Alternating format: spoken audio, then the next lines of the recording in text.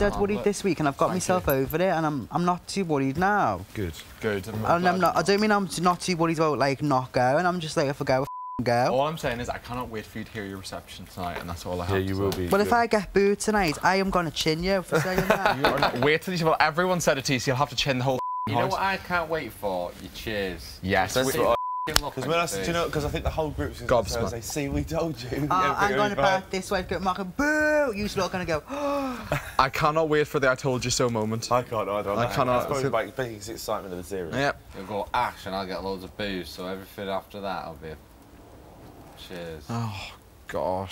Fridays are in here, aren't they? At times, you spend all day just kind of worrying about.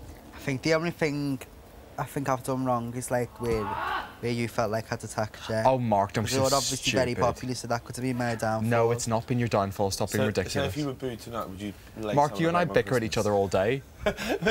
Yeah, I love Mark's honesty. yeah, I'm sorry, I but I said if you were was. booed tonight, would you lay some of the blame? I knew you were worried about that. I straight away I clocked why you were worried about that the other day, and I thought, oh, you and I have bickered, have bickered with each other day in day out from day actually. one. I'm not, if I was a member of the public watching you two bicker, I'd be loving it. Yeah, but if he's sat in that morgue watching me and he's crying because I'm saying Mark, I Matthew's my wasn't best crying. mate, I wasn't crying, nor did I bitch and he, about I went you. to him, did you feel like a mug? Christopher went, yeah, it felt like a mug.